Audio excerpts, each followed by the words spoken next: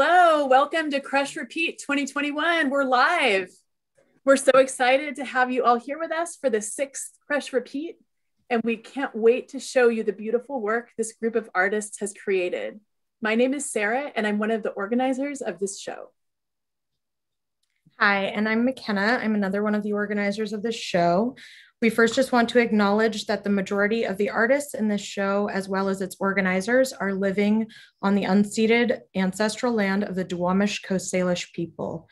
We commit to show up for the repair work necessary to support and honor the past, present, and future of the Duwamish tribe. We've placed a few resources in the comments to help you find out the Indigenous history of where you live and to share ideas for redistributing resources. There's a perfectly timed popsicle truck um, in my neighborhood. hopefully, hopefully, that's not too distracting. Um, we also want to say Ramadan Mubarak to all who are observing. And I'll share a little bit about this show. Um, Crush Repeat is for a queer community and their friends, but it's open to anyone who wants to try out a daily art practice for the month of March. Some people chose a small project to repeat every day, and others worked on a larger project a little bit at a time throughout the month usually we have a physical show that stays up um, for weeks with various events and um, workshops, but due to reasons that we are all aware of, this is our second straight year staying in the virtual space. This has been a grueling, heartbreaking year in so many overlapping ways um, isolation, loss, racial injustice, and an ongoing rise in white supremacist movements. And therefore, we chose a fitting theme for this year's show anything we do is beautiful. Why, why did that suddenly make me want to cry? it's it's anything we anything we do is beautiful. Anything we do is beautiful. Anything we do is beautiful. This means that some people did work for just part of the month and are totally welcome to show it. Um, and others dared to move in completely new directions for them. This year, our youngest artist is eight and a half, and our eldest is in their 70s. And then we have participants from as far away as Kentucky, as well as several from Canada. You'll see the work of both established artists and of people who are trying this for the first time. We love it all, and we're so happy to share it with you.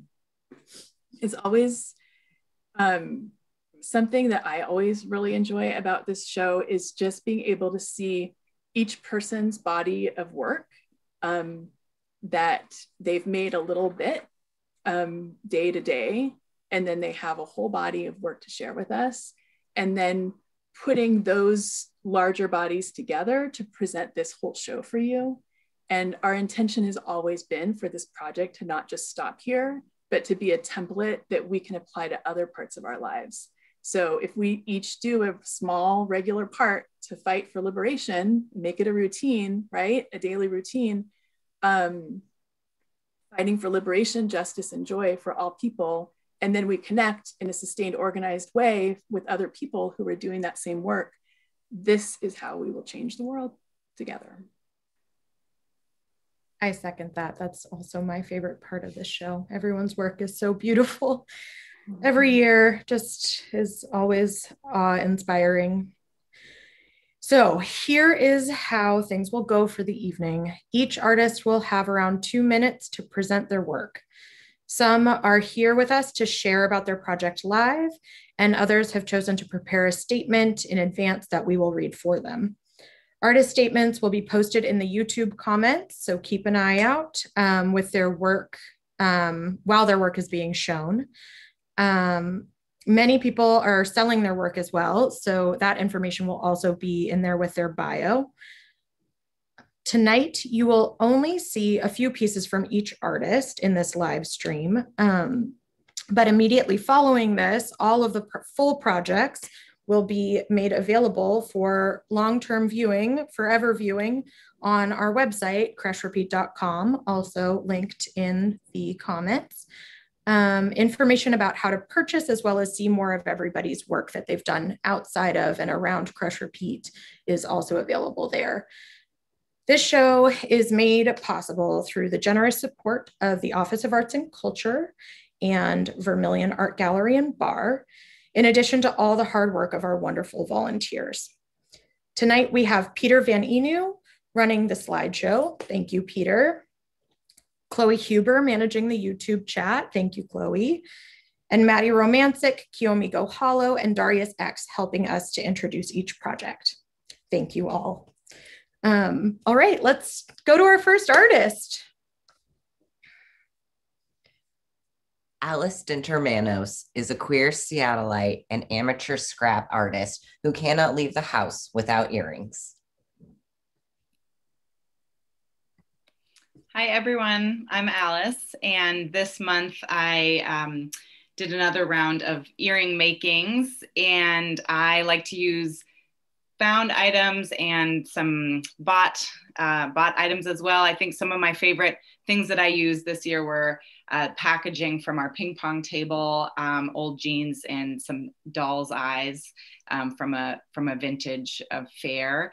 And um, I got to learn some new um, skills like knitting uh, metal and um, rekindle some old ones like paper mache and um, I definitely had many moments where I thought I had a concept and I thought, oh, this is going to be so simple and so easy. And pretty much every time um, it was much more challenging than I thought. So it taught me a really good lesson in um, perseverance and also being okay with things being imperfect, which I think is pretty applicable to this whole year. And um, my earrings are for exchange. So I would love to exchange them for other um, arts and um, crafts that um, you have made. So um, would love to hear from, from you. And I really look forward to seeing everyone's beautiful work uh, tonight.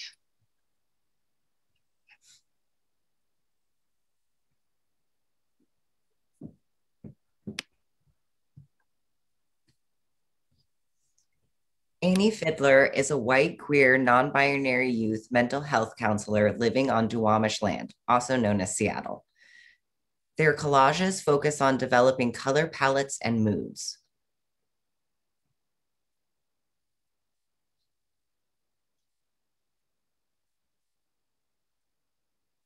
These collaged cards will be given to UW custodians through the UW Custodian Project, which advocates for greater recognition and protections for the custodians who have worked in person throughout the pandemic to keep space safe and the community healthy.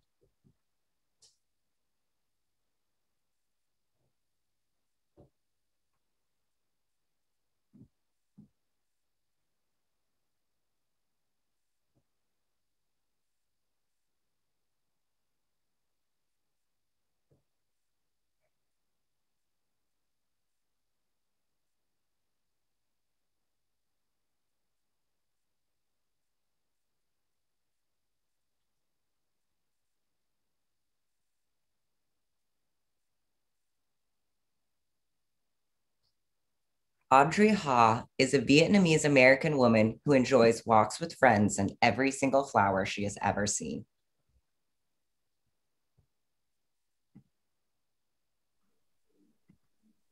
Hi, um, I'm Audrey, and I'm really excited to be in Crush Repeat this year. So I used the month as kind of a healing journey for myself.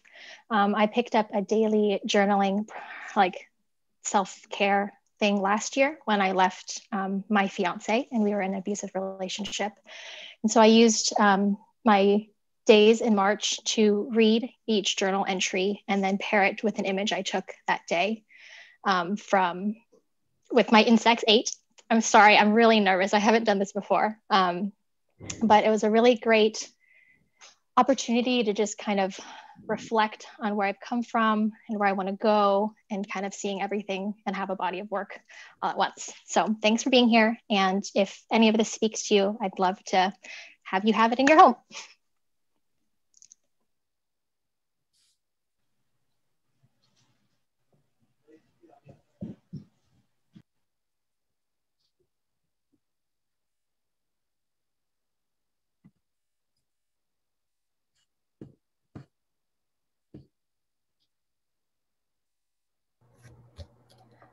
B. Schroeder is a non binary glass artist, community arts organizer, parent, and nature lover living on unceded Sinixt territory in the BC interior.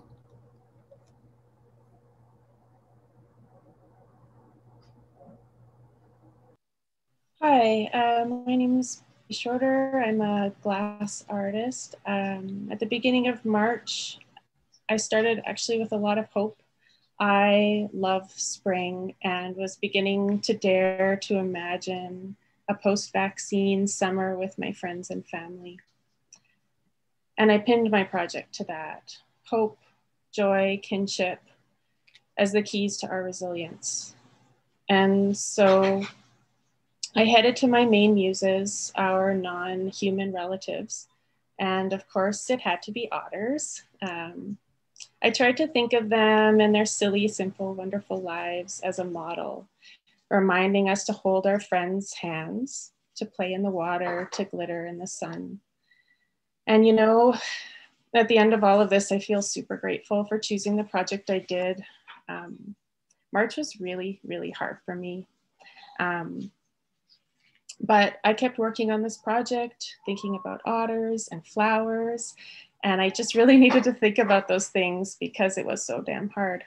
Um, the iris is a symbol of hope. And it helped remind me that there are these things to look forward to. There are beach days, drag shows, sleepovers, um, friends, puppies, camping trips, you know, all those good things. And it's going to happen. And when it does, I am going to be like an otter. I am going to hug and I am going to play and I am going to keep hoping because God knows it's still going to be hard. So, anyway, thank you so much for letting me be part of Crush Repeat this year. It really helped make it possible for me to make it through.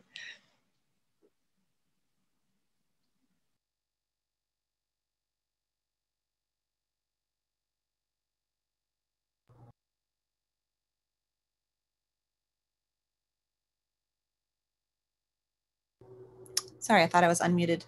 Uh, Bernadette Wright is a self-taught queer femme fiber artist.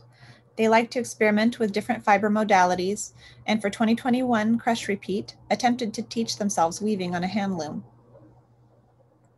They were really excited to play with different types of fibers, abstract designs, and colors. However, like much of the past pandemic year, this endeavor was much harder than they anticipated and ultimately resulted in one scraggly, almost kind of finished piece and one piece still on the loom.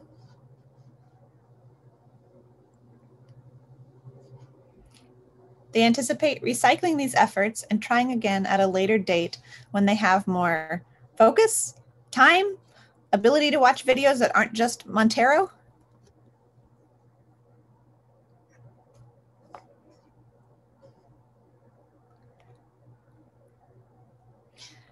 Blue Brackish is a quiet trans person living in the unceded ancestral territory of the Coast Salish peoples. They're 26 years old, but if we analyzed their carbon, we would find that they are timeless.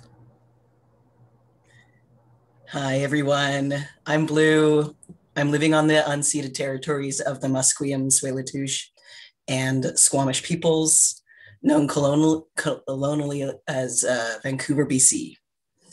Um, at the start of March, I started a 12 week intensive coding boot camp, uh, 12 hour days, five days a week, uh, with overflow and like extra we- reading happening on the weekends. So I didn't really have a lot of spare time to work on my project. So I decided to use something that I interact with every day coffee. some days felt chaotic, while others more creative. And it felt good to channel some of my creative energy while in the middle of this really stressful uh, course. And um, I use my art as a small escape from my work.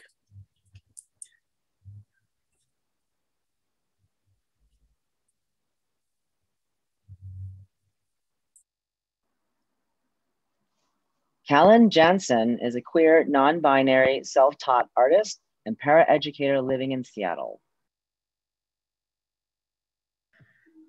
Okay, hi everybody. Um, so I've been spending this last year during quarantine um, working a lot on art, really developing my skills.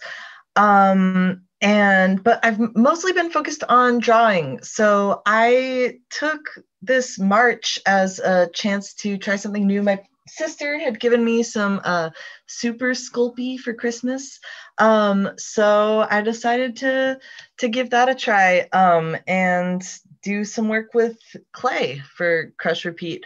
Um, so I yeah made a few different things as you can see here. Um, I decided I'd I'd make a, a couple different things in sets, um, just kind of playing with ideas of like nature and um, the human body and uh, relationships and um, how these all interact and how we're all um, you know interdependent with each other.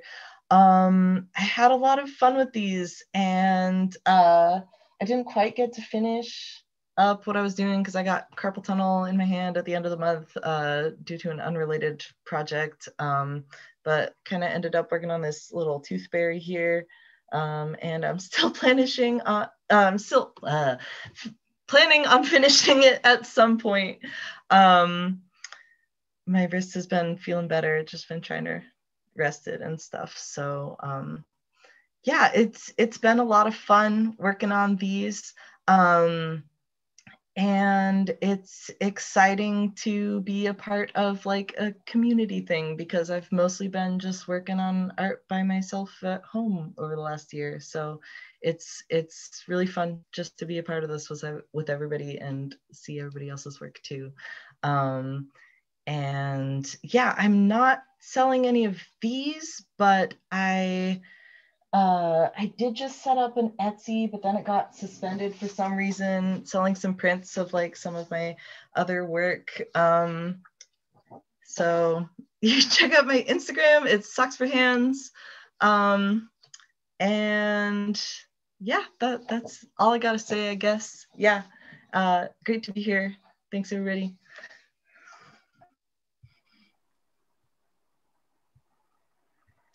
Carissa Knight lives in Seattle, is into sing alongs, pointing out dogs and making lists, and usually doesn't know how to answer, How are you? but still asks it of others. Hello, I'm Carissa, and I made a little zine called Trying My Softest. Um, it's about sometimes when I try my hardest, I can beat myself up if I'm disappointed. And what if I was nice to myself instead? Um, I accidentally drew what was intended to be the front cover on the back side. Um, so that was uh, the back that you're looking at. And uh, the last slide there, I think, will be the front. Um, yes. Uh, this project started as, ironically, me being hard on myself for being hard on myself. Um, and morphed into me writing to myself like I'm a friend who cares about me. Um, the first slide there was all of the pages very small.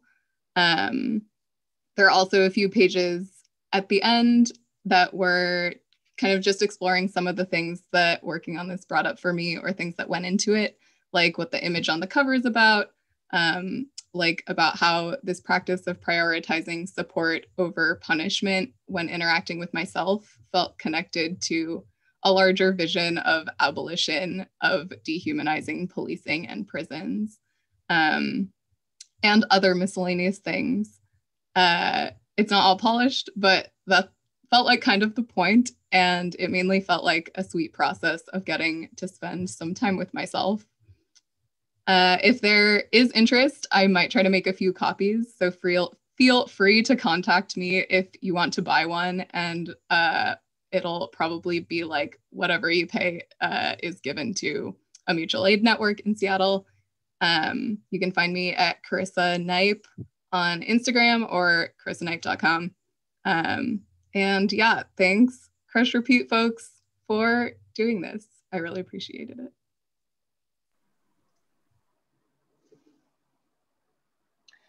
Carolyn Shasha is a scientist and artist living in Capitol Hill. She spent the month working on a series of portraits called Unfinished.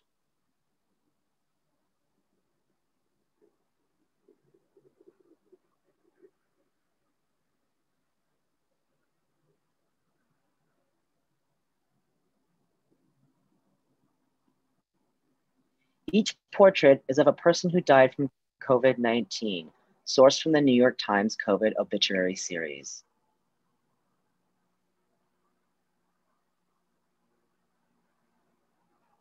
Each work consists of a pencil portrait plus an abstract watercolor piece combined digitally.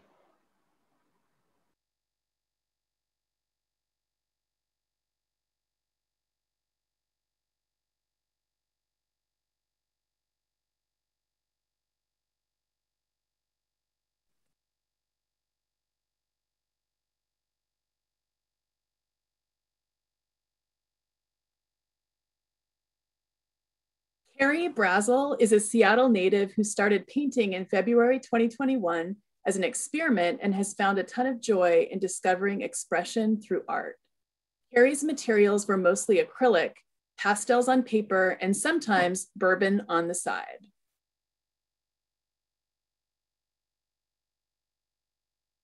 March was a test of patience, perseverance, and perspective.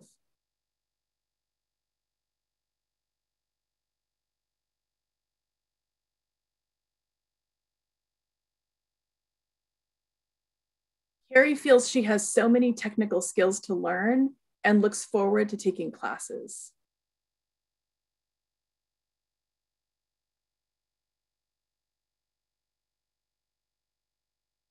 Carrie's work is for sale.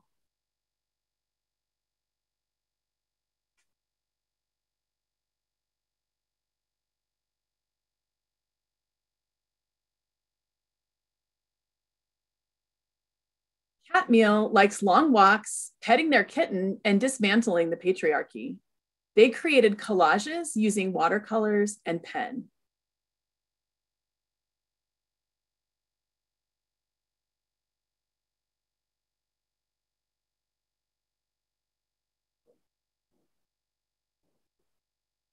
The body of work was a constant battle with limiting beliefs and past rumination.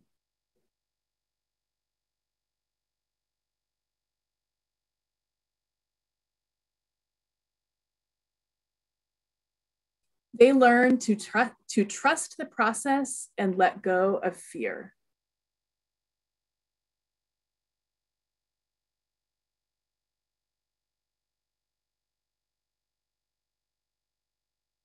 Catmeal's work is for sale.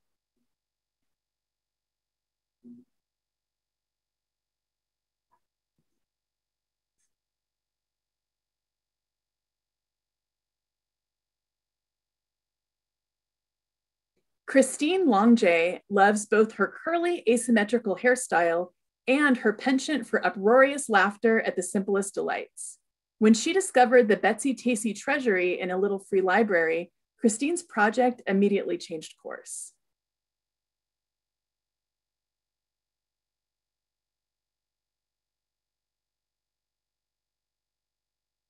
She's constantly untangling the nets of how oppression separate us so that she can reconnect with herself and the rest of the world.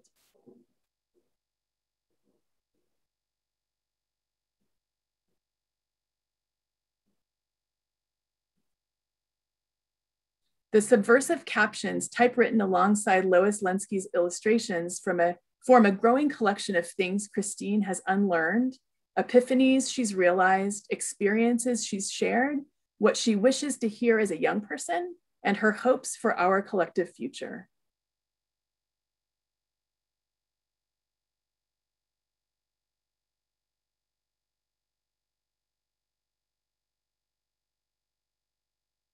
Christine's work is for sale.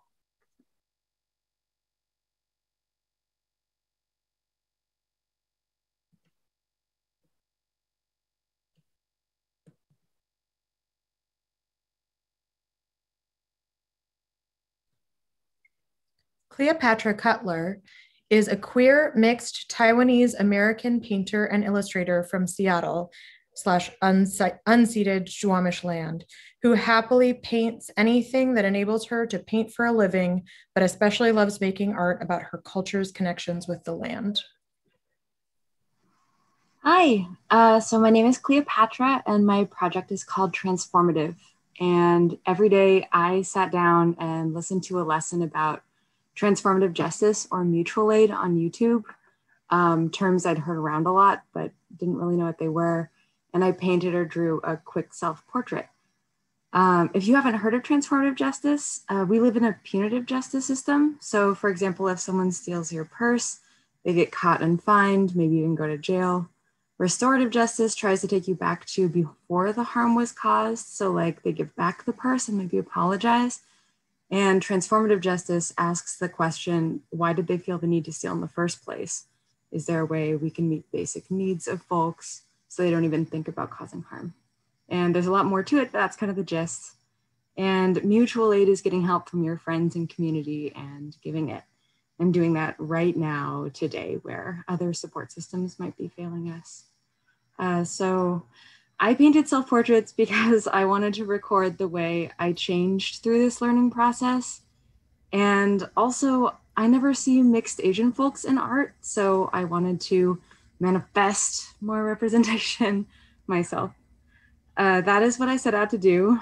And as March unfurled with a rise in violence against my Asian community, the portraits also helped me as a ritual of expression, and transformative justice and mutual aid were hopeful lenses to process my thoughts. Um, my art is for sale, and you can find my work on Instagram at Cleopatra the Artist or cleopatratheartist.com. Thank you.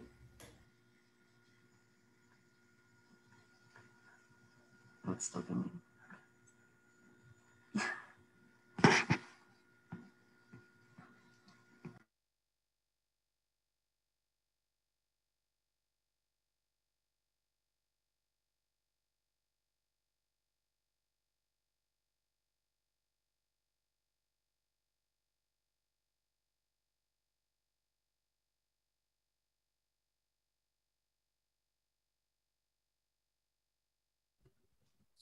Danielle Morgan Sharon is a queer filmmaker from Bellingham, currently living in Brooklyn with her spouse and their tiny dog, Kino. Danielle experimented with watercolors to create a greeting card each day, which she mailed to friends and family.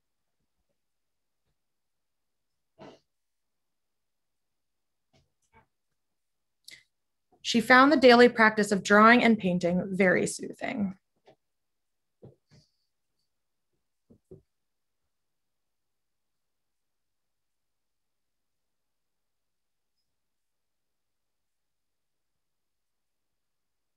Especially after a year that felt so unwieldy. Using watercolors was a much needed exercise in letting go of expectations and relinquishing control.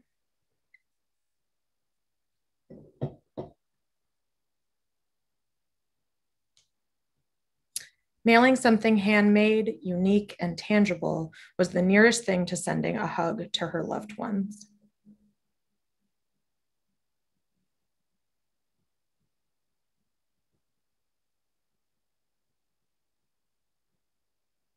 Darius X and Sarah Brown are neighbors who have been friends for 20 years.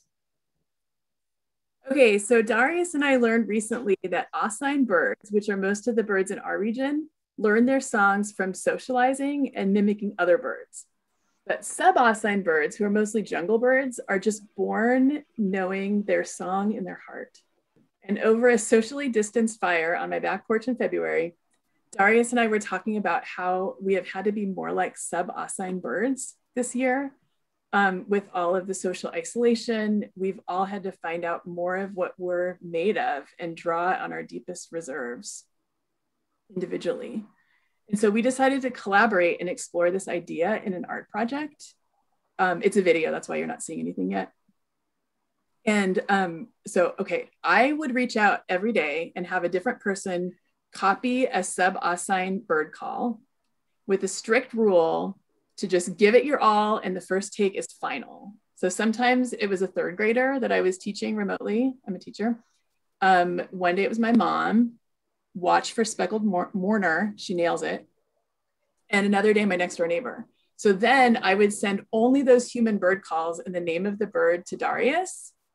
Um, and most of these names were new to me and so I picked the ones that I thought that Darius would have the most fun with, whether those were the scientific names or the English name. And then what did you do with those, Darius? Thank you for asking, Sarah. um, so, so, um, so I decided to do a joint effort because I wasn't quite sure I was going to participate this year. So I did put together a combined effort um, into one project. So heads up, our vid- video is just a little bit longer um, than usual, just for us. But um, once I heard Sarah's idea, I could not resist the challenge to illustrate each bird without doing the research, no Googling, no looking ahead in our shared folders. Um, I wanted to keep it super simple and sustainable. Um, so I gave myself uh, simple guidelines. Don't overthink this. Just do it on my iPad, one brush, max, maybe two for some outline and colors, um, and 10 minutes per bird. Well, yeah, right. it didn't quite turn out that way. Um, another fun challenge, I will say, about uh, putting this project together was condensing all of the audio recordings.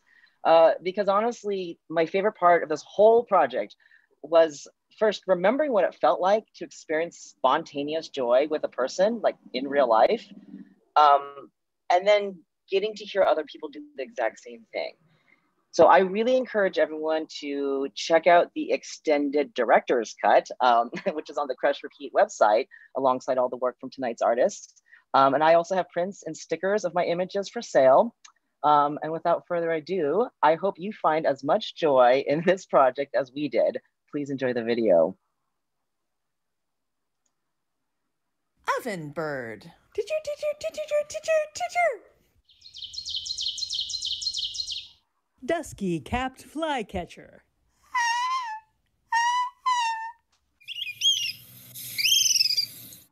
Speckle breasted ant pitta.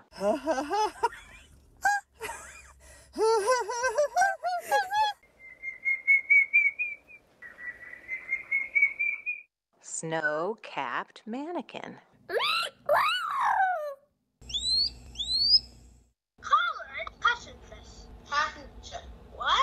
What? Oh, my bird! Gnat eater. Black spotted bare eye.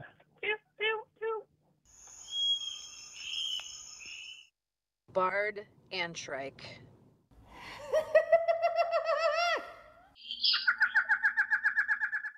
Yellow cheeked Picard.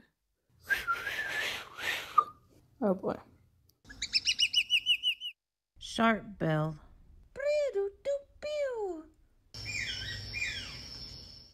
Here we have the white browed purple tuft. I don't know how. I have no idea how to make that Just noise. try. Just Go. really be a bird. yes.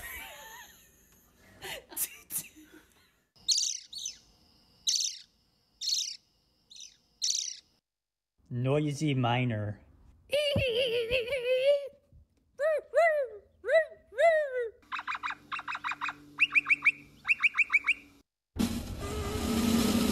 Heterocercus. Pweep, pew, pweep. Whiskered Myiobius.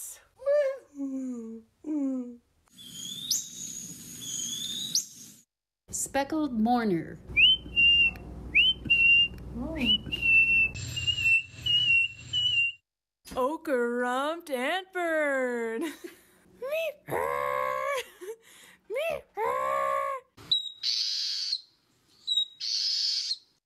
Agitated fire eye.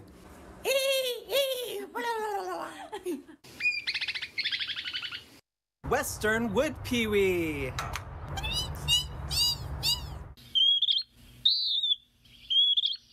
Greenish Schiffornis. Blackbush bird.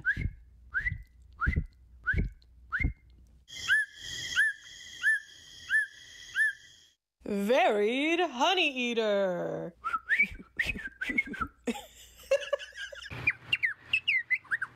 Mask Tityra.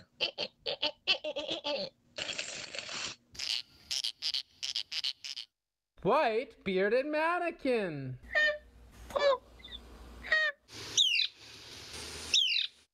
Tyrant flycatcher. Wood creeper.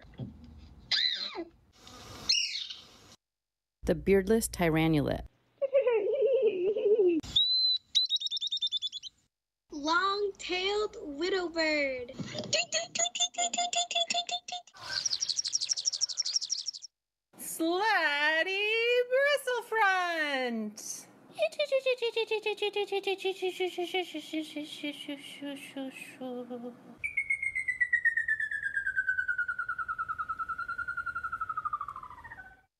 Cock of the Rock.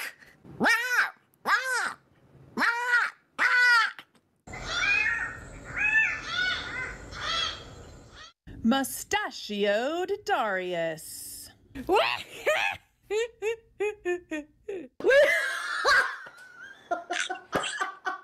Sarah Brownbird.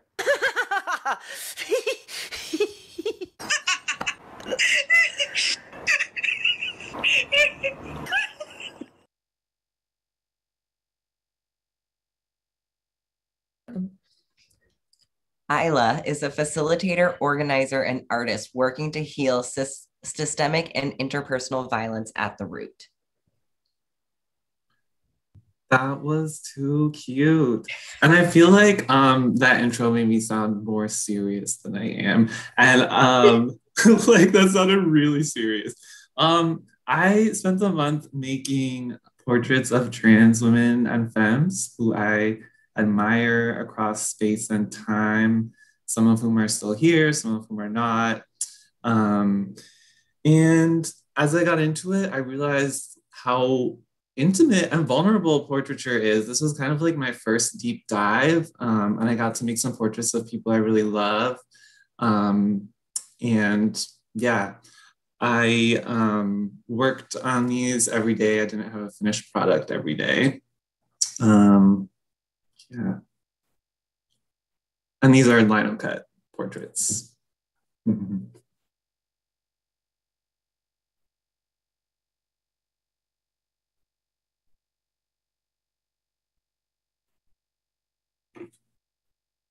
Thank you, everybody. Emily Stern is an artist, writer, mama, and teacher living with her cats, daughter, and badass roommate in Santa Fe, New Mexico. For this year's Crush Repeat, Emily was inspired by prayer and reflection to make pieces that allow for a daily ritual of presence.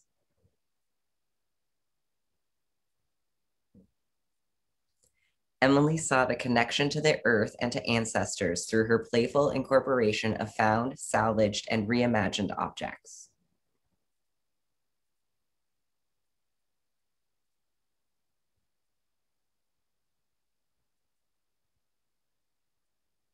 These pieces tell a story of a being embedded in the messiness of daily life, seeking a pattern, a connection, and aspiration to what came before.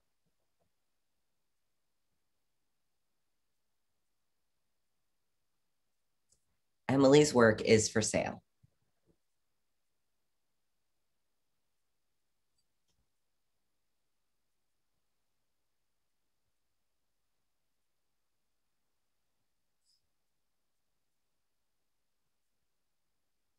Emmett Stanfield is a writer, queer, trans Jew living on Duwamish land, Seattle, who spend their weekdays as a nanny and therapist and their weekends having as much fun as possible, all the while taking lots of photos. Hello. So for this year's Crush Repeat, I decided to um, make my project as accessible to me as possible because I was finding it hard to focus much on any one project. But I take pictures every single day. Um, and so I thought, okay, I'll do a photo a day project. So I just I tried to capture um, some of the really like sweet and silly and sad and hard moments of each day um, and picked a photo day and as you saw a lot of them are from um, my days nannying and I nanny these two toddlers who are just the cutest and every day fall more in love with each other. And I get to witness it. And so those are some of the photos. And then I also have photos of friends and of places that I've gone and, you know, ice cream and my office and Zoom calls, just little bits of each day.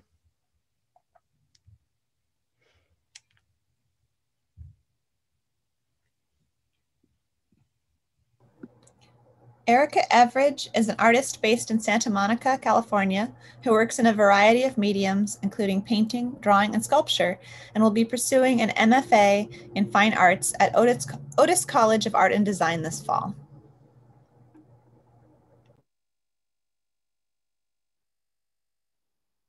Hi. Um, okay, so for my project, I chose to do what I called zooming around the world in 31 days. And the idea was to capitalize on uh, discovery that um, brought me a lot of joy throughout the quarantine or throughout stay at home time, um, which was life drawing on Zoom. And so for the month of, month of March, as we kind of wrote out some of the final months of final month of isolation, um, I thought it'd be fun to meet and draw and paint strangers, strangers around the world. Um, so some of these models were in Brazil, Canary Islands, not all were professional models. Um, and they all, it was really beautiful to see people just be vulnerable and present themselves and their naked bodies on Zoom for sometimes hundreds of people in the Zoom room. Um, and I chose to work small so that I could complete painting every day. And um, another fun thing was that I don't know if any of these photos show it, but I chose to work on cardboard toward the end on cardboard boxes because I thought, why buy toned paper and board when I'm being delivered a lot of my goods in these cardboard boxes because of quarantine. Um, so I started painting on those by the end, which was fun. Um, and all my work is for sale. I'm trying to think if there's anything else to add. Um, oh, I guess you can see in these paintings that a perk of life drawing on Zoom is the forced extreme perspective and foreshortening that can happen. As you can see in some of the pink, the pink male on blue background. So that was a fun, fun discovery. Um, yeah, I'm Erica Everidge Art on Instagram and you can DM me and whatever. Thanks so much. And thank you to Crush Repeat for the accountability um, to show up for yourself every day and paint, which is know, sometimes hard to prioritize above all the other stuff we have to do. So thank you.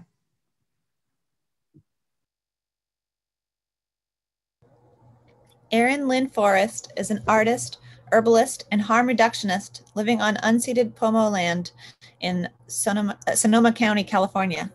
Um, this March, she made spells with leaves from Umbellularia californica, the bay laurel, um, endemic to the western Oops.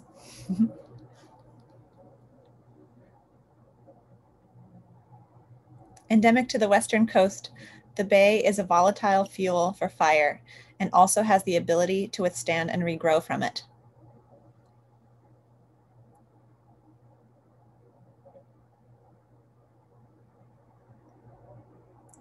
These leaves are markers of home and for Erin are emblematic of safety and uncertainty, grief, hope, and resilience.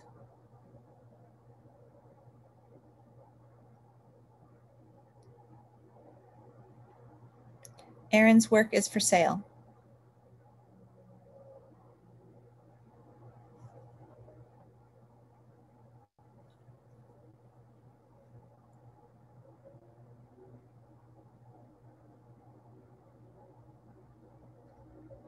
Erin Gilbert is an artist, writer, and translator who lives and works in Seattle.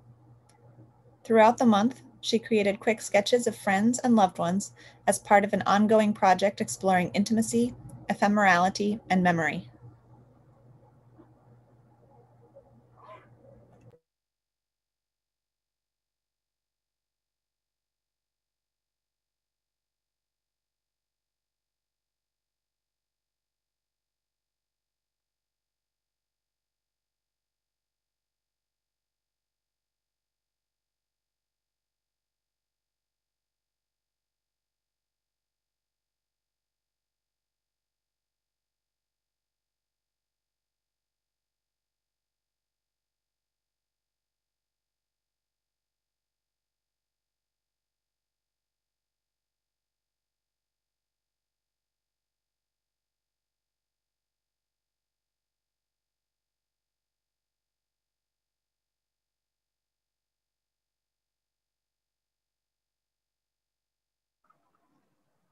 Haley Freeland is a musician, curator, and tour manager based in South Seattle.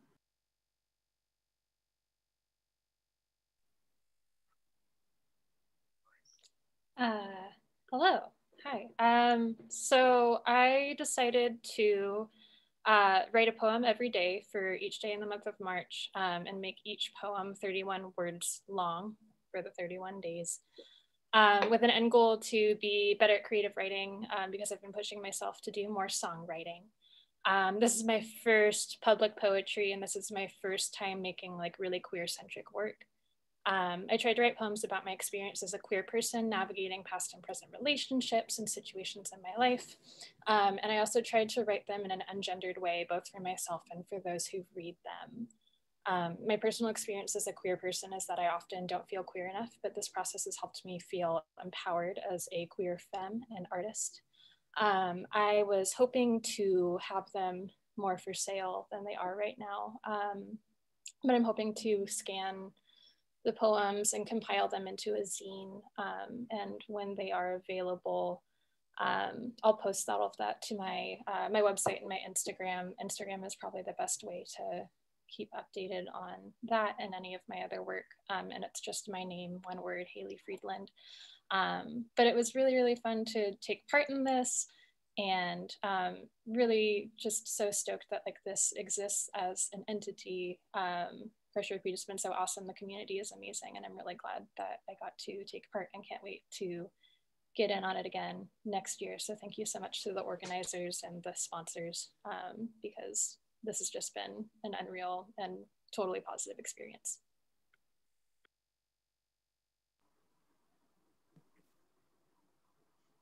Haley, are you going to read your poems for us? Oh, um, I could. I could read one. Um, gosh, I have to find my notebook though, and I don't want to hold things up.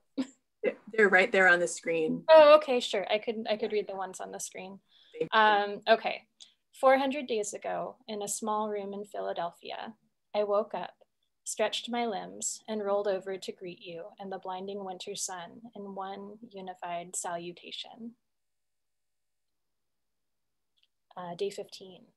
My big sky baby sits on the hood of my car, perfectly at home in the middle of nowhere, incomprehensible and all consuming, like a rococo cloud among the rust dust.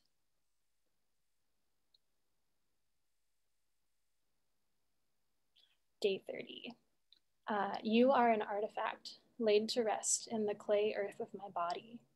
I am the archaeologist, eager to excavate. I am also the burial ground, warning of a curse.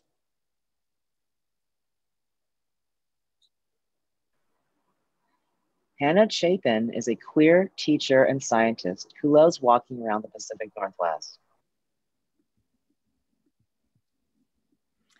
Um, hi, I usually use pen and watercolor to explore my world using very representational sketches, which become a record of my experiences, um, almost like a visual journal.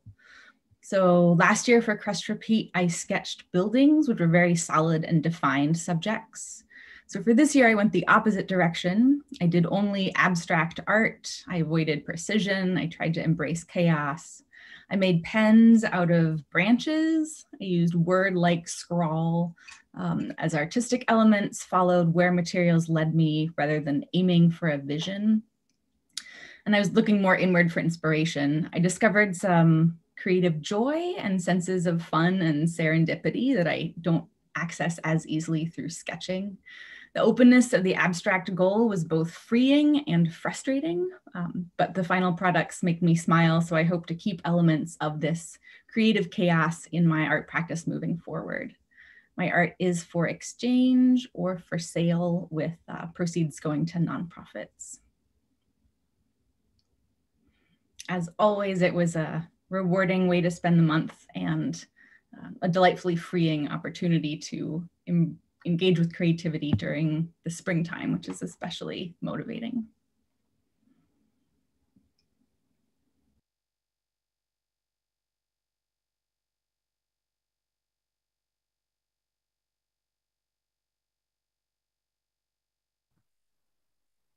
Darius, you're muted. Let's start over again. Thank you. Uh, Janet Nahama Miller and Wiley Blue Villarreal, age eight and a half, are a parent kid artist team who like to combine their creative superpowers into weird, fun projects. Hmm, what will happen? Hi, everybody. Thank you so much for sharing, everyone who came before us. I am so inspired. All your work is so beautiful.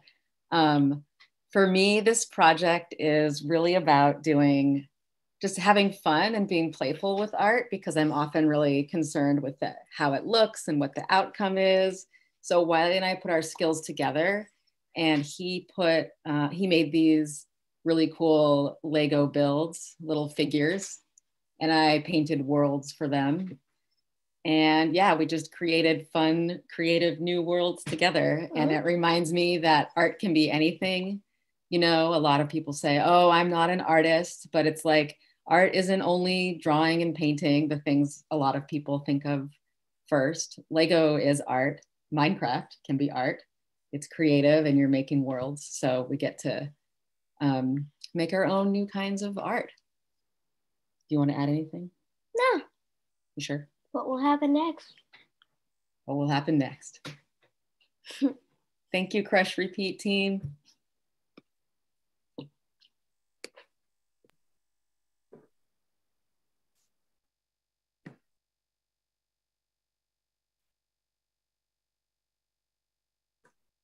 Jess George lives in Kentucky and spends 11 months out of the year looking forward to Crush Repeat. Since this year has been spent using a lot of digital communication, Jess decided to learn how to make stickers and GIFs that she could use on text messages to friends and other loved ones. With the help of a Skillshare class, she created the stickers using Adobe Illustrator, After Effects, and Photoshop.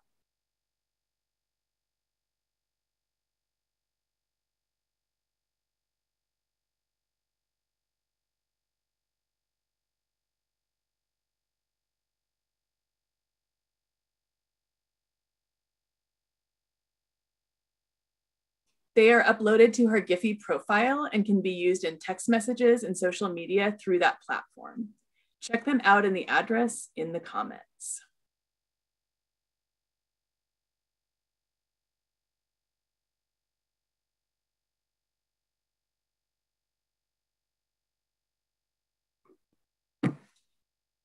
Kaden Kai is a mixed race, non binary installation artist who daydreams wildly on Duwamish land called North Seattle.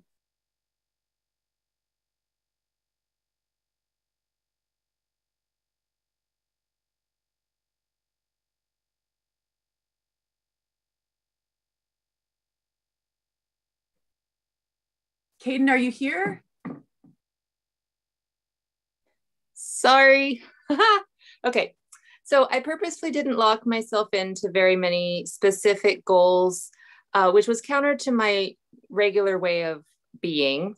I ended up focusing on installations using natural materials that illustrate entities and instruments of protection that live within me, whether they are helpful or not. So this is a, a big altar. Those are four by fours that used to construct a bed within my house and I built an altar with lots of deathy bones. Could we go back a slide to the nest? Okay, so I've been curating a house for myself this whole past year. So this symbolizes that journey of literally nesting, uh, weaving elements of my life together in a protective, cozy way, just like I wove these branches together over the month. Uh, they were sourced from a newly trimmed fig tree in a local green space here on the land of the Duwamish. My apologies to the Parks Department. Uh, and then could we move again to, yay. So this is a heart, which it looks spiky, like I'm trying to keep you away, but each of those are tipped with little barbs. So if you get too close, it ensnares you and clings to you. And then if you try to move away again, they stick to your sweater and end up ripping the seed pod open. So really everybody wins. And then there's one more, please. Yeah, this is called Sentinels, um, which for me represents hypervigilance. I made these out of ponderosa pine cones in Spokane, Washington. Uh, nobody needs this many lookouts on the job all the time. Every day is not a war, but many of us have this underground stress response. And um, uncovering this and putting it to light feels like anti capitalism for me. Um, these are not for sale. Obviously, they live where they were built, but if you want a custom installation, I'm happy to talk about that. I'm so grateful for this community, for all the participants and all the organizers. Thank you.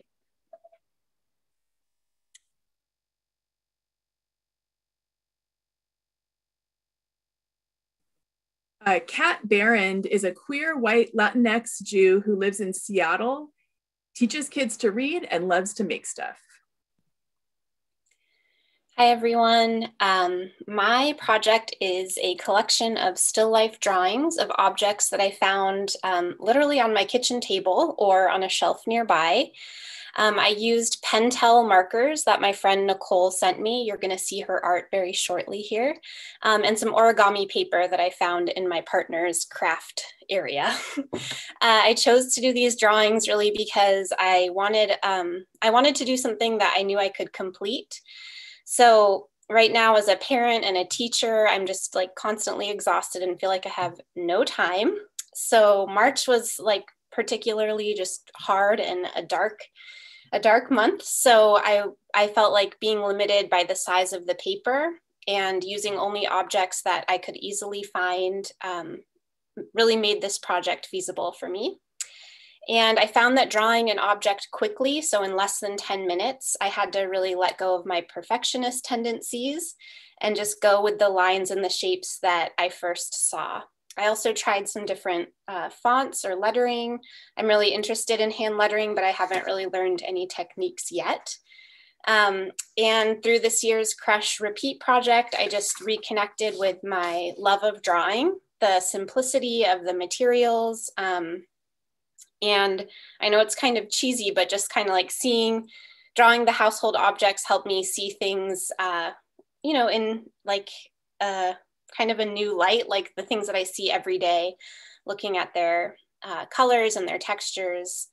Yeah, um, it was really fun. And I'm really uh, happy to be here with all these incredible artists tonight. So uh, my work is uh, for sale or for free or for trade, um, and any profits go to mutual aid.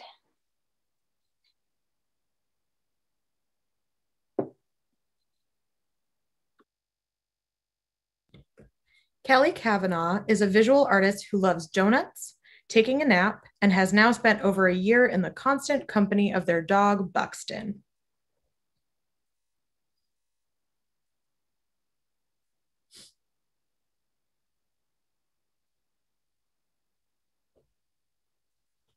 Kavanaugh's project, entitled 31 two minute sketches of Buxton, includes 31 digital portraits of the artist's dog, Buxton, generally drawn in two to five minutes.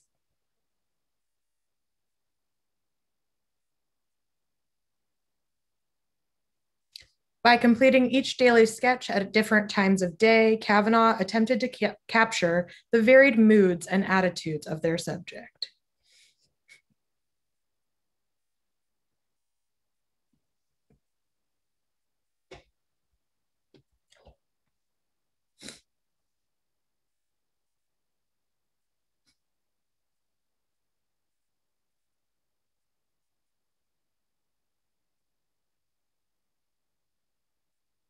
Kiyomi Gohalo is a trans queer person who sews a lot to find enjoyment in life. Hi. Um, so this month I challenged myself to sew one garment a week.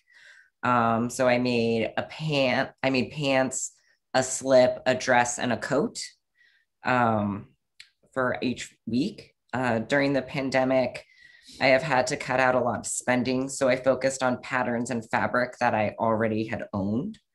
Um, the fabric I used and the patterns that I chose to sew uh, directly reflect a life dedicated to comfort and function, um, as well as adaptable to a body in flux.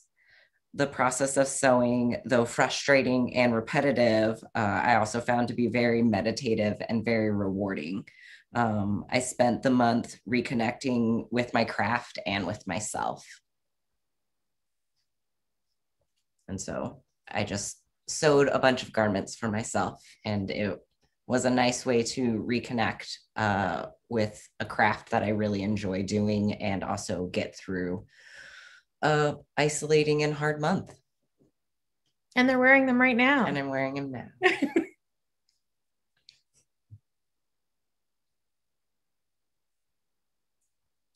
Crystal Correa is a f- queer, fat femme of color and facilitator of brave, transformative spaces, whose greatest joy in life is laying in the sun next to a body of water with their pe- with her people. Yeah, hi. Um, very excited to be here. It was the first time I've ever done anything like this. Um, for this project, I um, took a prac- a daily practice that I have in which I dance or move my body for three minutes or more every day, and then made a montage of that. Um, very grateful to the music makers whose music I uh, took or listened to while I was doing this, and to the Crush Repeat folks for um, helping me with wild technical difficulties. Um, this is a really cool way to um, be rooted back into my body and to um, explore flow and um, experiment with being seen. So thanks.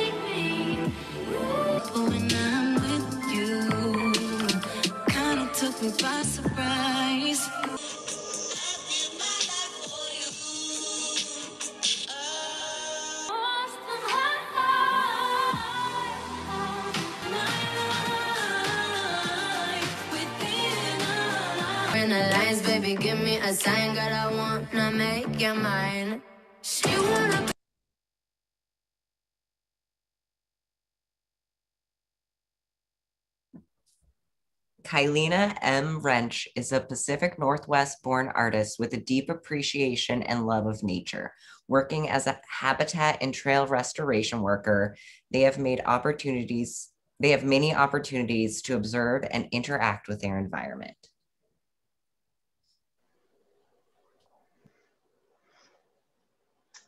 Hey, so uh, hope everyone can hear me. Uh, I have spent uh, a lot of time outside since uh, October when I started working out there. Um, and a lot of times we have kind of long drives to the job site because we work around the state doing uh, habitat restoration and conservation work, um, mostly invasive species control.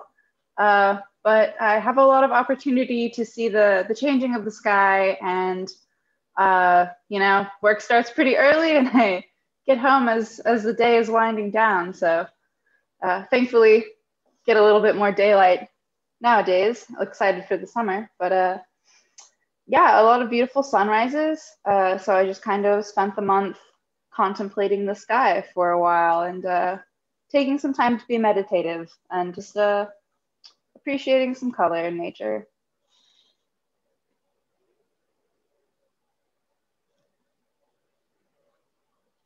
Uh, I used a, a lot of wet on wet technique also.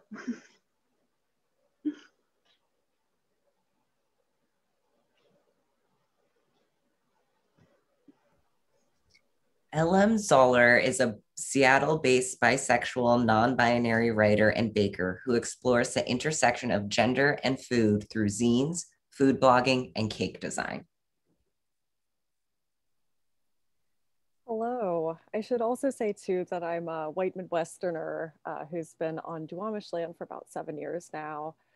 Um, so my collection for Crush Repeat is an extension of my work as a queer food writer and baker. Uh, for the last two years, I've been working on a series of cakes, um, like actual physical cakes that you can eat, uh, that are satirical gender reveals. And if you don't know what a gender reveal cake is, it must be nice to not know that. Uh, essentially, what it is, is when you have a pregnancy, a doctor can use an ultrasound to determine what the fetus's apparent genitalia may be and then, if the parents are so inclined, that information can be secreted from them, not for fun trans means, but rather to give to someone to make a cake or fill a box with balloons, uh, blue for penis or pink for vulva. And as a trans person and a non binary person, I find this incredibly problematic, creepy, um, chromosomes and genitalia do not determine gender. So it's really a crock. Um, so I have some curse words that I want to say about that, but I'm not going to because I don't want this to get like problems on YouTube. But uh, so what I did for this series was I wasn't able to make these cakes. Um, I did one called 47,000 Acre Wildfire in the past, which was a reference to the person who blew up uh, something in Arizona and then caught an entire forest on fire. Uh, so I did that in cake form. Um, but since we can't meet in person anymore, I decided to do mock ups as art um, in collage form because that's what I'm most comfortable with. So um, some of the ones that I have on screen are based on actual gender reveal fails, like the black balloon one, which I think is the first one where the parents were trying to hit a balloon that would pop open to let us discover what this child's junk apparently looks like at 20 weeks or whatever. Um, and it flies over the fence and escapes. And the dad like almost brains himself on the fence going after it. And it just brought me like a lot of trans joy. Um, so you can see like the little fondant figures are crawling up the cake trying to get at the balloon, which they'll never get because you cannot perceive this child's gender. Um, and then I made some that were just sort of like abstract or Dadaist. Uh, the alligator one, I regret to inform you, is a real thing. Don't throw alligators, don't um, put alligators, uh, what am I trying to say? Watermelons in alligators' mouths. Um, but the last one I have on there is based on the Untitled Goose game, where you are a, a video game, you're a goose that does shenanigans. Um, and one time I was at Stanley Park and a goose popped out of a tree trunk and scared the bejesus out of me. So I thought if the goose crashed the gender reveal party, that maybe all would be well. Um, so I'm not, I don't have these for sale. I'll be collecting them into a zine most likely. And um, you can follow me on social media and get more information about my other zines. Uh, my handle is I'll Make It Myself, which is also the name of my super queer uh, food blog because that's still a thing apparently. So thank you all for for this. It's lovely to be here.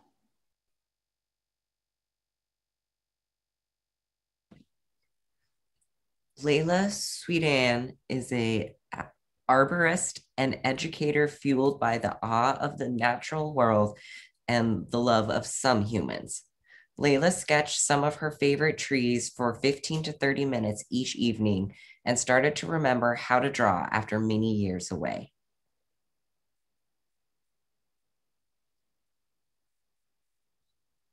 Her favorite discoveries were the joy of committing the strokes with a brush pen and how to transform her drawings with shading and depth by wet finger smearing and the permanent ink before it dried.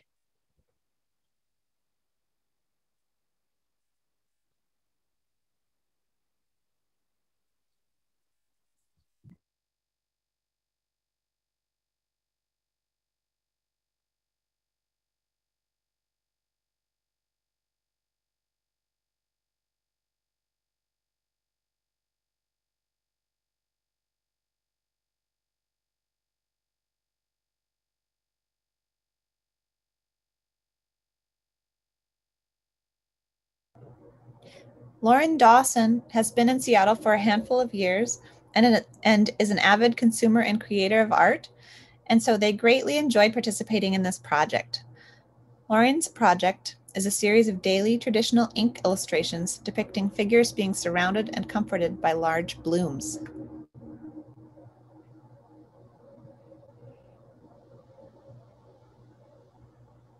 They found it relaxing to imagine basking in the comfort of these large blooms in such uncertain times, and they hope anyone who sees their work can also indulge in the idea of it.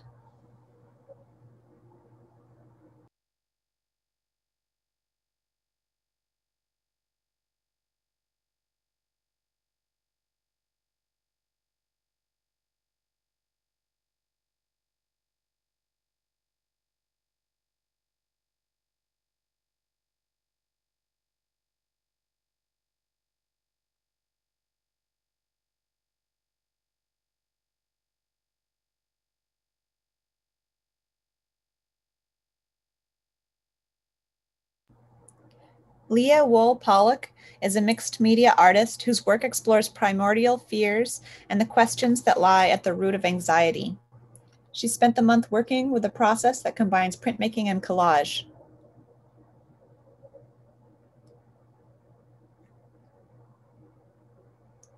Though she had intended to use Crush Repeat to explore her experiences as an invisibly disabled person during the pandemic, the process quickly led led her to abandon her plans for a more visceral exploration of the themes of personal growth, humor, rage, and uncertainty. Leah's work is for sale.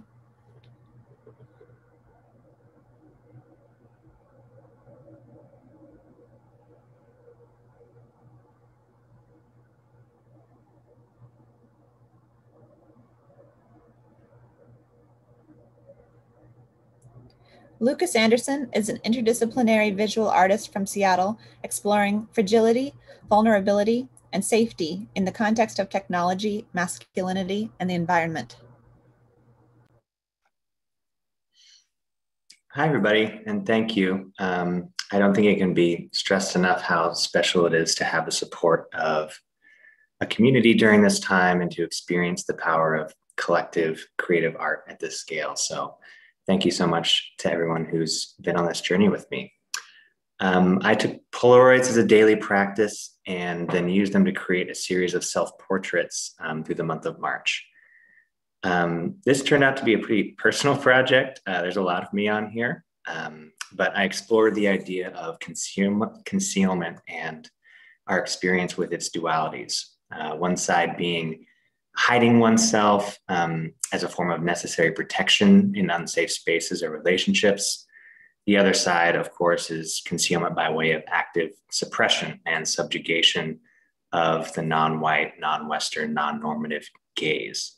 Um, as a white cis man, I often sit on both sides, benefiting from the privilege of being able to disappear uh, while also working to understand and unlearn the ableist masculine gaze that um, I experienced. So ultimately, this project ended up being about the embodied experience of concealment, um, existing in that space between uh, what we hide from ourselves and what we show to others, and the physical exhaustion from that constant contortion and performance.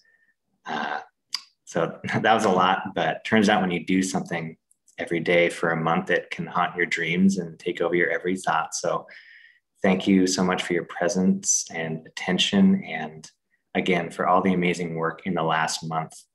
uh, by the artists, creators, and organizers who made this project happen. It was so lovely to, to do and participate with y'all. So thank you.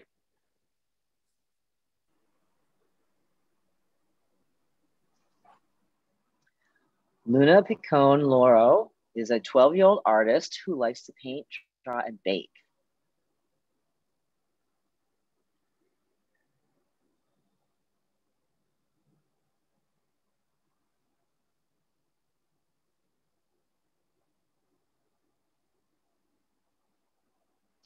This is a series of little landscapes. Some were inspired by pictures Luna took, and others inspired by Luna's imagination.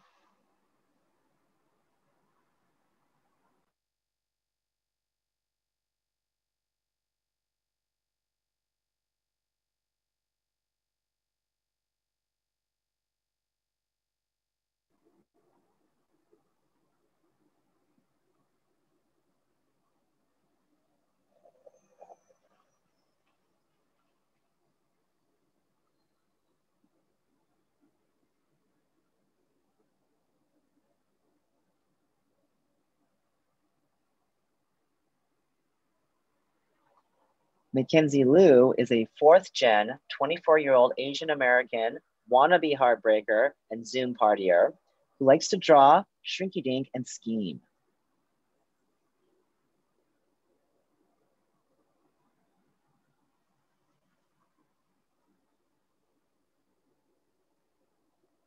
Originally started as a comic meant to appreciate mornings, with spring's arrival, she has instead been thinking about gardens and the magic of worms.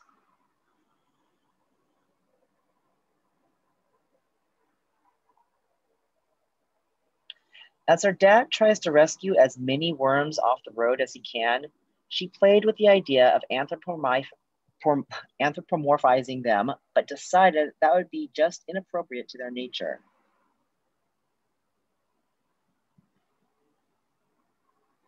Instead, she imagines all that the worms can accomplish on their very own, which is both terrestrial and extraterrestrial adventure. Mackenzie's work is for sale.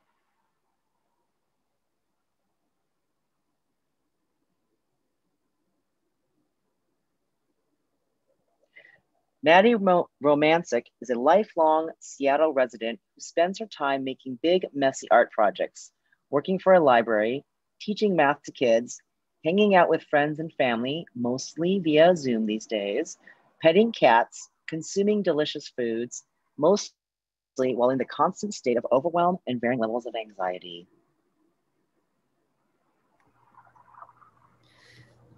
So this year, um, my project involved the yellow street bumps, which thanks to a coworker I found out are actually called Botts dots. Um, I I'm a lover of trash and discarded items, uh, and and so I these are like very old to-do lists, and I had bus transfers and other like sort of things that might be considered trash, which I uh, and and some other things that are just regular art supplies, which I um, decoupaged onto the um, Botts dots.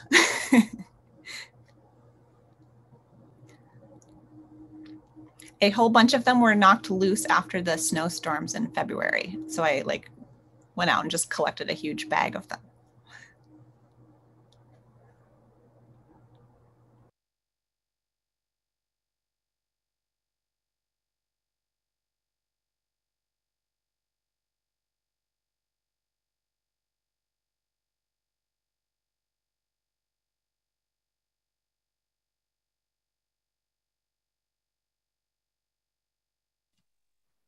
McKenna O'Keefe is a queer femme Jewish artist and designer living and working in unceded Duwamish territory, which is otherwise known as Seattle.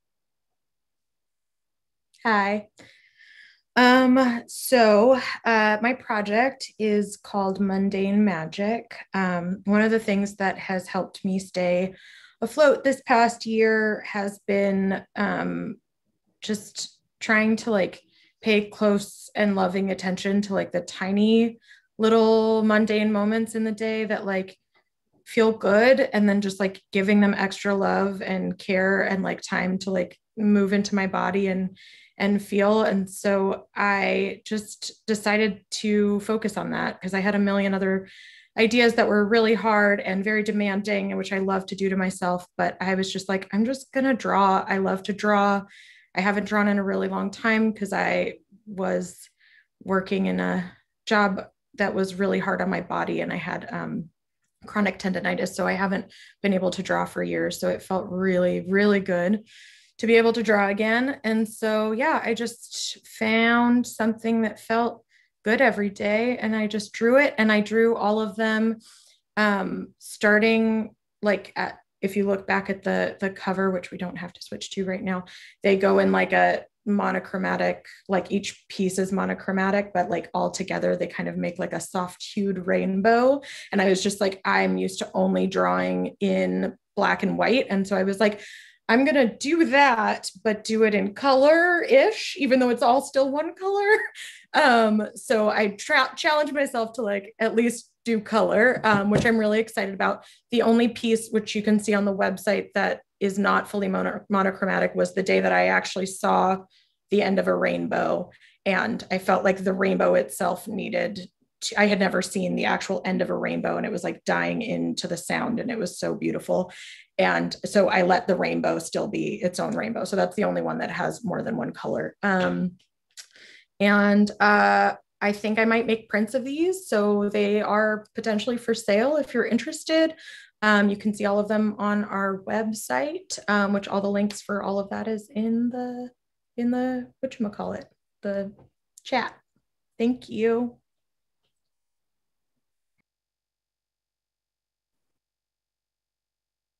Molly Kaftan Tollefson is a Jewish American improviser, collager, and novice tarot reader living in Seattle, Washington. Molly is crafting her own tarot deck with family photos, found collage materials, a lot of glue, and a white gel pen.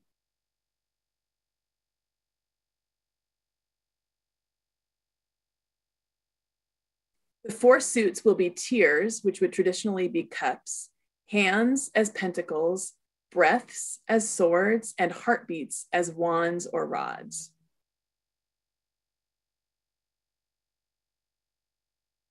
She is far from completing the 78 card deck, but is honored to unveil the first six cards.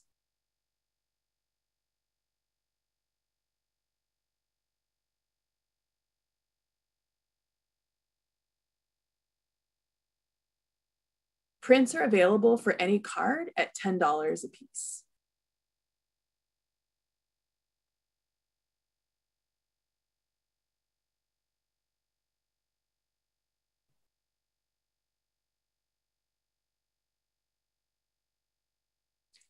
Moose is a non-binary artist currently settling into their home in the north northeastmost corner of Washington state, always eager to explore within and without, both digitally and by hand. To take a break from the digital art Moose does for work, they decided to create a sketchbook of materials found around the house and fill it with daily inspirations simply made from immediate, I'm sorry, fill it with daily inspirations simply from immediate surroundings or moosings from within. Sometimes it took work for them to not make something for the day, even if they were exhausted or just running out of hours. This became a learning process of letting go and embracing one's limitations.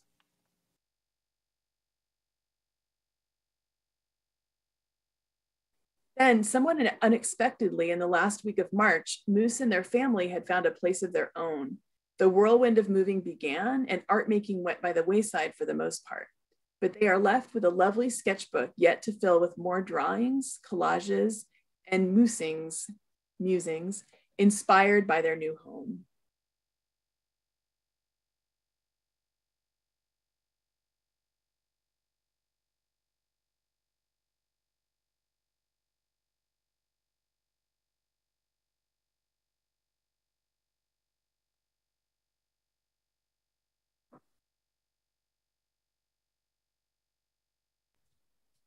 Neve is a densely populated forested haven for actual fairies. Hi, everyone. Um, I'm really excited to be here. I want to shout out that this patch that I'm wearing on my dress is a piece of art by my friend Ben Passmore, who's an amazing comic artist. And it says, All cats are beautiful, but it's a cat playing with a cop car. Speaking of cats, this piece is based on the uh, traditional Japanese fairy tale, The Boy Who Drew Cats, but I drew it as The Girl Who Drew Cats. Um, and in all of the pieces that I made, I was exploring the idea of containers that we could use to travel through space and time that are basically like loving boundaries. Um, those are demons cavorting with one another. I was looking at a lot of like medieval art about witches uh, cavorting with demons. So I really like the verb cavorting for this.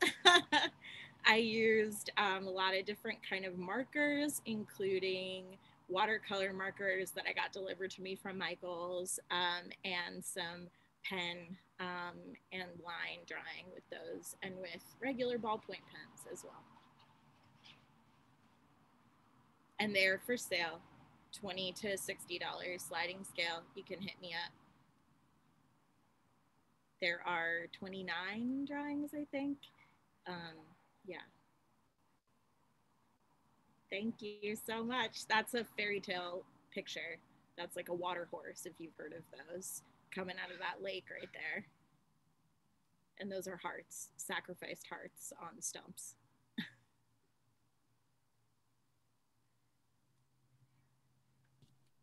Thank you.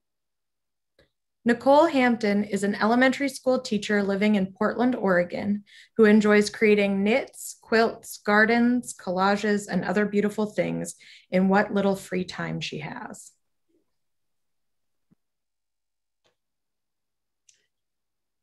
Hi. I um, am new to this and I feel very excited to be here and be a part of it this year. Um, I just was um, inspired by having a little bit of time every day to commit to making art, which is something I don't normally get to do.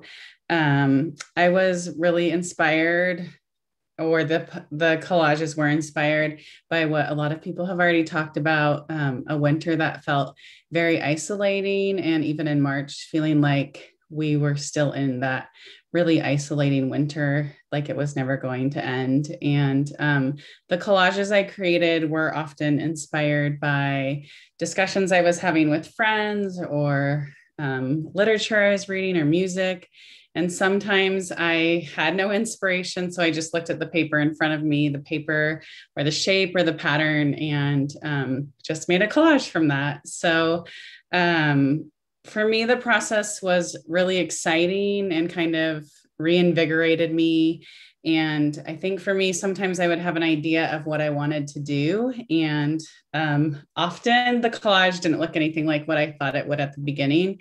And so that process of the collage evolving through the like 30 minutes or hour I spent every day um, was really exciting for me and something that I loved. So I was really, um, it just brought a lot of joy to my life to participate in this and really to participate in this uh, little video right now. I'm loving it. So thank you.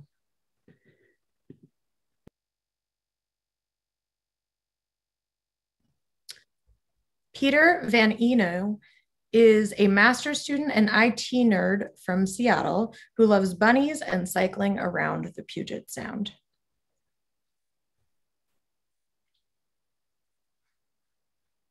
Hello. Um, so I wanted to practice daily art and get better at drawing and doing it digitally. Um, so I just tried to lay down uh, on the floor after sitting for way too long in my chair and uh, draw on my tablet. So I learned about how to use a tablet better and all these art tools, and uh, it was a lot of fun. Um, yeah, I managed to keep going and keep trying things. I really wanted to attempt to just keep going um, with whatever I had. It was good enough um, each day. So I hit a few slow parts and kept going, and it really helped me just um, keep producing things. And it was really relaxing in the evenings to do. So it was really nice to be a part of this. And I'm really glad that this community is here. And um, it's been really great. So thank you.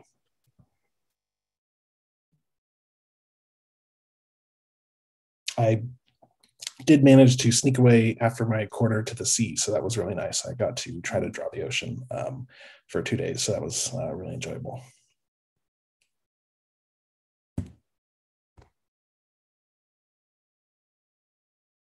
Rory McHales is a white, queer, Seattle based visual artist and birth worker. For Crush Repeat, they spent each day working on a series of reproductive justice themed embroideries, which are now for sale.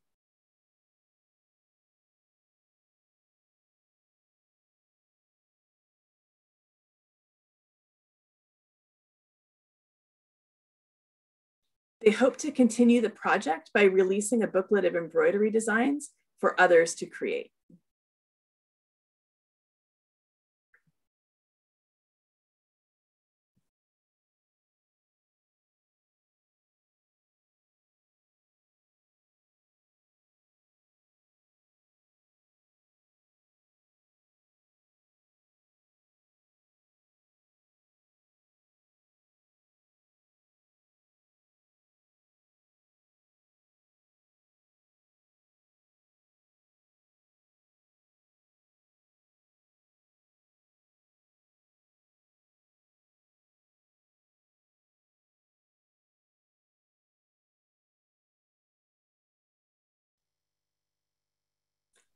Sam Picone Loro is a 17 year old self taught artist who enjoys working with a fun, wide variety of mediums.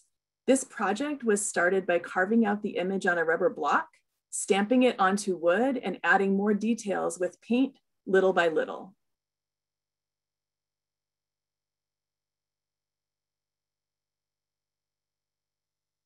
The phrase "cada guaraguao tiene su pitirre means every hawk has its pitirre, kingbird, which comes from a story Sam heard in Puerto Rico.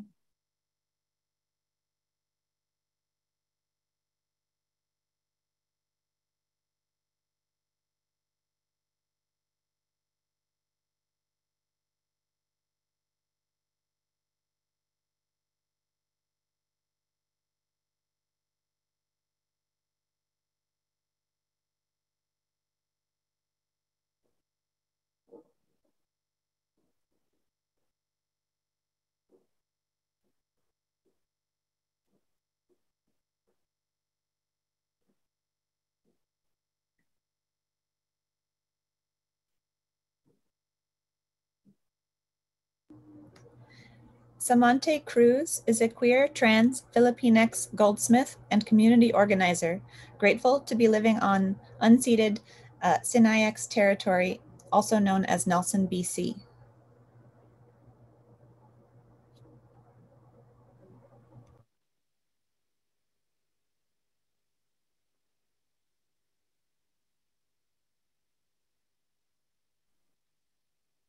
Are you here, Samante? I'm here. Can you hear me? Okay, awesome. Sorry. Um, so yeah, I created a body of work that explores my Filipino heritage, uh, examining the history of indigenous resistance in the Philippines by, by reimagining and creating sacred objects, amulets, and talismans of resilience. Uh, I created components which will ultimately be made into wearable jewelry by producing multiples of the same object um, by using contrasting the ancient method of lost wax casting and uh, state of the art in 3D printing. I finished some of the objects uh, by teaching myself how to enamel, a method of fusing glass to metal that dates back to the 13th century. The materials I used include copper, brass, fine silver, sterling silver, 18 karat gold plating, shells, and acrylic paint. Um, most of the colorful pieces in the pictures are uh, my enameling sam samples, which will also be made into wearable jewelry. Some of the designs are based off the Katipunan uh, flags, which is a revolutionary society in the Philippines founded in 1892, um, whose primary goal was to gain um, independence from Spain through revolution. Uh, the septum rings I've designed um, have uh, designs that are inspired by tattoo motifs of centipedes and birds. Um, during colonization, much of our uh, sacred objects of gold and silver were stolen and melted down uh, to fund the Spanish conquest. Um, so what I consider um, in my capstone piece is the, the one that looks like it's dripping um, on the next slide. So it's a, it's a redesign of a symbol called the Lingling-o, which is one of the only surviving amulets of the Philippines. It's meant to tell the story of our collective resilience that despite Spanish stealing and melting down our sacred objects and attempting to destroy our culture and traditions, we are still here. Um, the pendants and shells will be strung together, echoing the design of a rosary meant to represent the role that Catholicism played in our colonization. Um, so yeah, all my work is available for sale and just wanted to thank the team at uh, Crush Repeat for putting this on. It's been a really awesome experience. So thank you.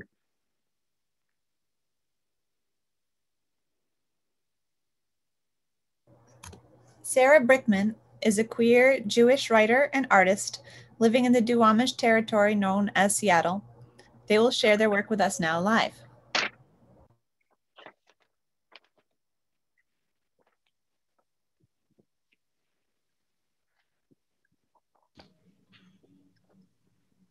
Hi, everyone.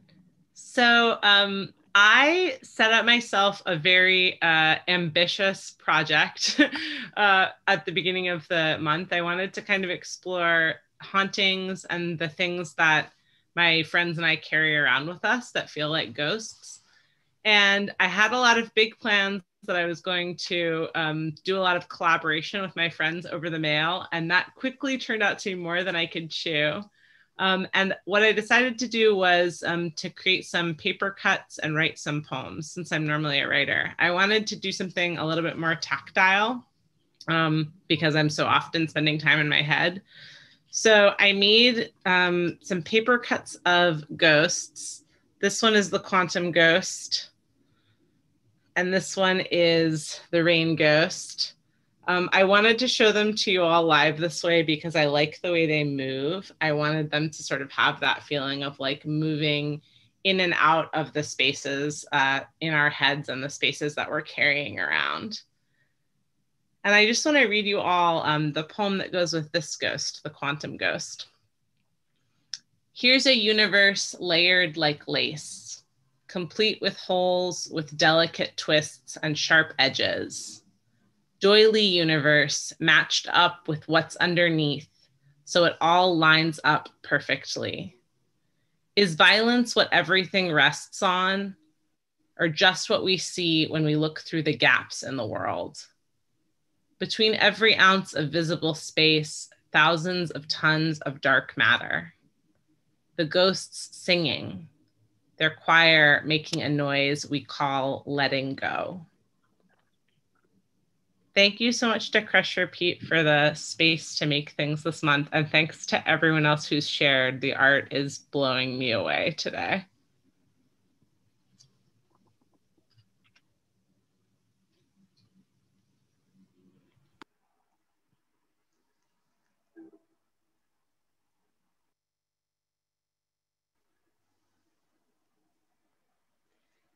Sequoia Day O'Connell is a non binary trans photographer, textile artist, curator, and full spectrum doula.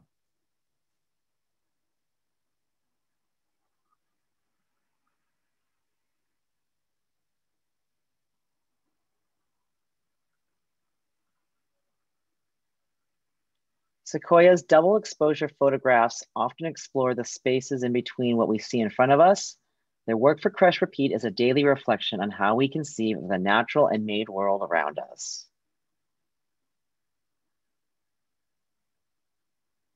They create new buildings, figures, and plants with their photographs to explore the multiple, multiplicity of realities that can and do exist in the eyes of each person.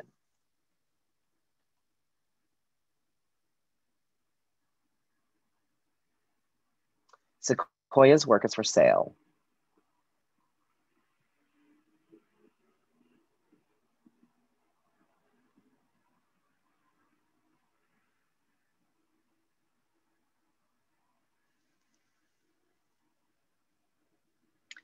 Sierra Severson explored a new medium for this project and has used it used it to expand her collage art.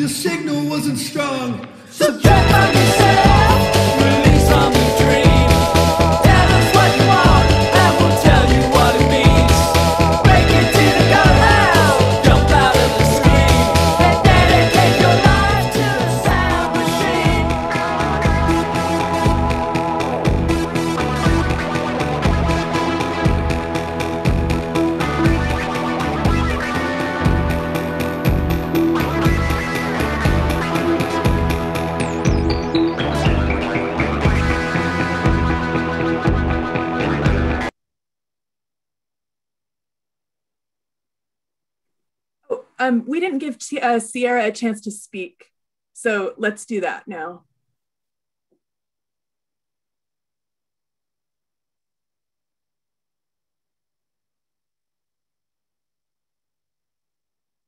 Sierra, do you want to go ahead and talk about your Oh. video? Yes. Um, hi, everyone. Um, so I really had no idea what I was going to do um, for this project. So I kind of took advantage of recently moving into my own space and I just put up like a huge piece of paper next to my bed and I just decided to start writing something different every single day. And um, it kind of led me to realize that what was missing from my art um, practice of just being a collage artist was music and movement. And those were two things that were helping me get through um, March and just get through like this stage of um, quarantine. And so um, at the very end of March, I realized that stop motion could really put all of those things together. And um, yeah, so thank you for creating this space. I hope you enjoyed the video. Um, it's really awesome to be in such a supportive group of artists and to feel like I can put something out there that's not perfect or that it is perfect in its imperfections um, since it's so new. So thank you, everyone.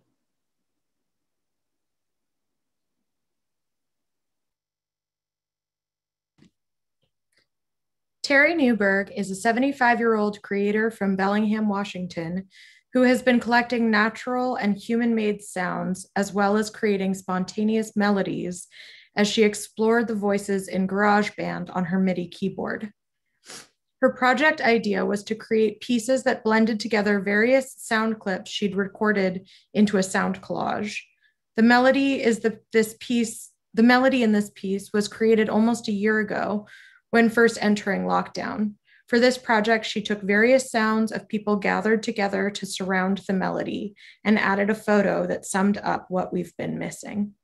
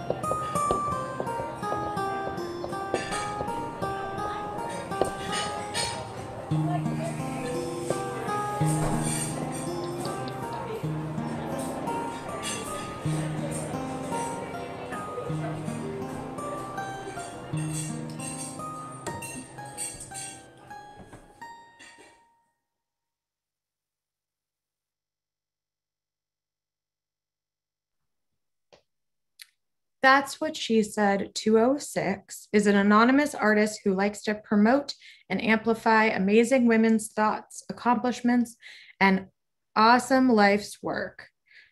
Her telephone pole art project was born out of a celebration for Women's Month 2020 amid a burgeoning global health pandemic and a desire to amplify the voices of thoughtful, brave, and bold women in a time that was scary and unknown.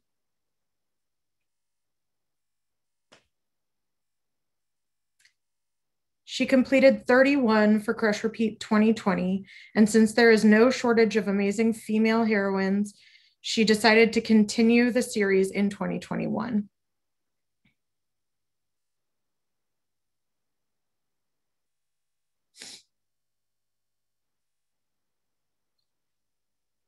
That's what she said. 206 chooses to remain anonymous because she wants the spotlight to be on these ladies and not on herself.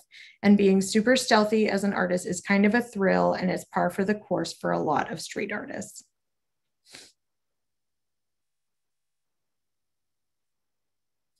Her work can be seen around South Seattle, with many con concentrated in Columbia City.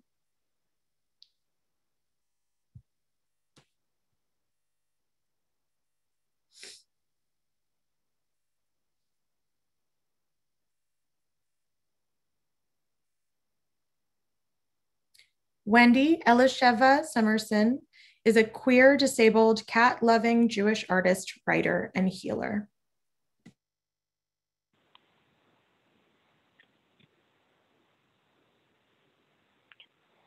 Hi, everyone. So excited to be the last one up again. Um, I decided to do um, a lino cut bird every day.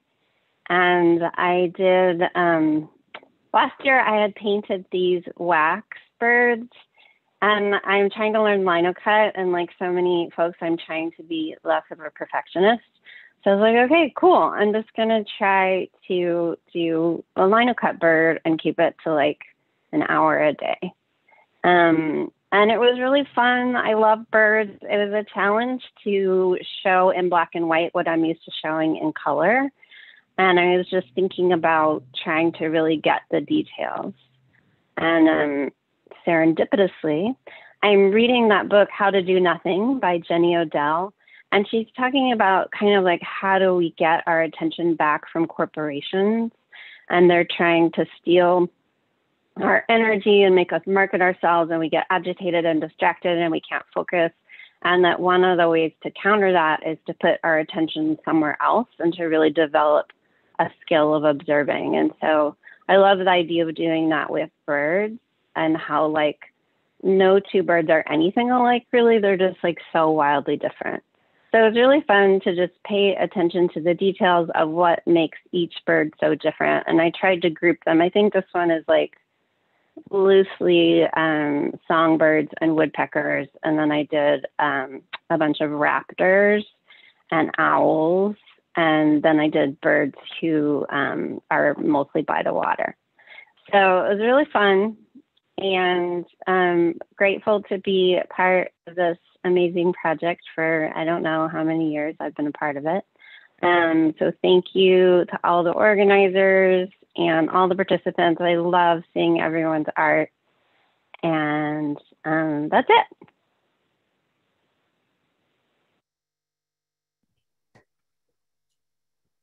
All right. That brings us to the end of our show. Thank you so much for joining us for Crush Repeat 2021. This show is everything that it is because of the amazing community that supports it. And we are so grateful. Honestly, my heart is just exploding right now. So thank you all. That was so beautiful. Sarah, would you like to say some words? Yeah, just another huge thank you to everyone who made art and shared it tonight. You crushed it. um, uh, it was also good. Um, it was wonderful to just be able to take it in because we've been doing all the that behind the scenes, um, putting everything into slideshows and on the website and everything. It was wonderful just to watch and listen. And um, I'm just having a real moment for all the beauty that was created. Um, and we really appreciate everyone who showed up to watch on the warmest day of the year so far in Seattle. Seriously, thank you. Could have been sunbathing.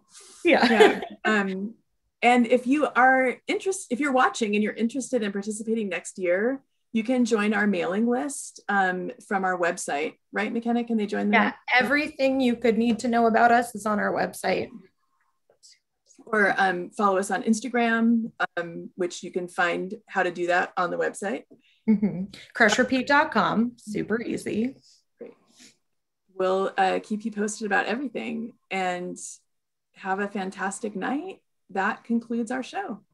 And one last thing for everyone to see the full the full everybody's art that'll be going up shortly. So the link for our website will be in the in the YouTube comments. And then if you want to see everyone's full project, that will be up forevermore. Just give us a few minutes to make it live. And then if you want to share um, with anybody who wasn't able to watch this live show tonight, it has been recorded and you can look up the Crush Repeat YouTube channel and it will be there. And it'll also be on the web gallery. Awesome. Yay. All right. Thank you so much, everybody.